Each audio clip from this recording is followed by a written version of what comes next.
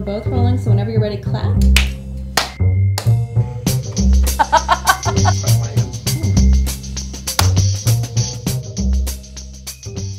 So having all of my original choices already taken, I took this opportunity to revisit the museum in search of a new favorite piece.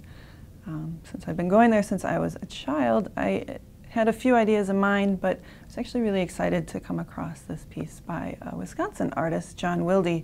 Besides its, you know, kind of wonderful composition, and I, I really enjoy his use of color, I like that he's positioned himself right in the center of the painting um, as the artist. Um, and to his left, he has this kind of mundane reality, I assume probably what his life probably looked like at the time.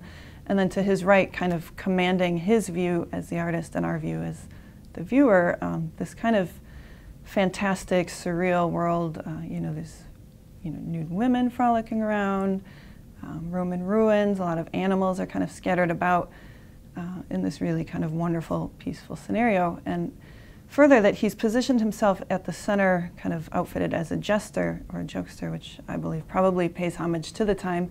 He was one of the first um, artists of you know the, the region and the time to kind of bring the surrealism and magical realism movement to the Midwest. So I think that's kind of really exciting. He had a very prolific career here in Wisconsin.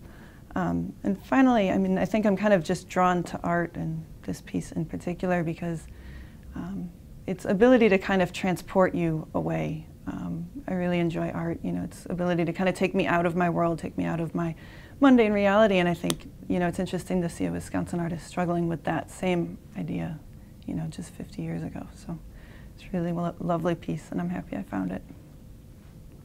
I'm Jessica Steeber. I am co-editor of Fine Line Magazine, also co-founder of the Armory Gallery, and uh, an Art City contributor.